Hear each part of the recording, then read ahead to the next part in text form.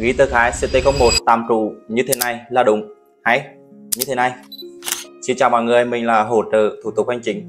Và ở video ngày hôm nay mình xin hướng dẫn mọi người ghi tờ khai thay đổi thông tin cư trú mẫu CT01 trong trường hợp tạm trụ và không để mọi người chờ lâu chúng ta hãy đi vào các bước chi tiết.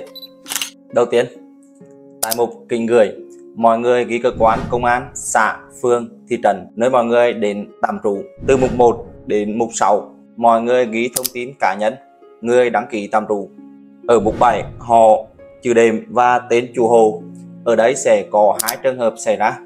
Đối với trường hợp đăng ký tạm trú lập hộ mới thì mọi người ghi thông tin cá nhân, chủ hộ là thông tin cá nhân của người tại mục 1 phân quan hệ với chủ hộ, mọi người ghi là chủ hộ. Trường hợp mọi người đăng ký vào hộ tạm trú đã có sẵn trước đây thì mục họ tên chủ hộ mọi người ghi chủ hộ tạm trú trước đấy và nhập mối quan hệ phù hợp vào phần mối quan hệ với chủ hộ ví dụ như là em trai, cháu, vợ, vân vân. Tiếp theo, mục nội dung đề nghị.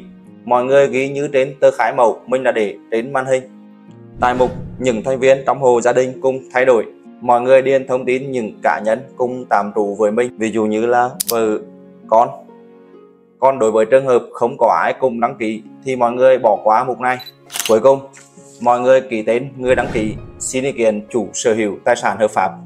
Đối với trường hợp đăng ký vào hồ đã có sẵn hoặc có người thay đổi cung tại mục 11 thì mọi người ký tên vào mục chủ hồ. Mẫu tờ khai, mình đã để tại phần mô tả. Chúc mọi người thực hiện thủ tục thành công. Xin chào và hẹn gặp lại mọi người ở những video tiếp theo.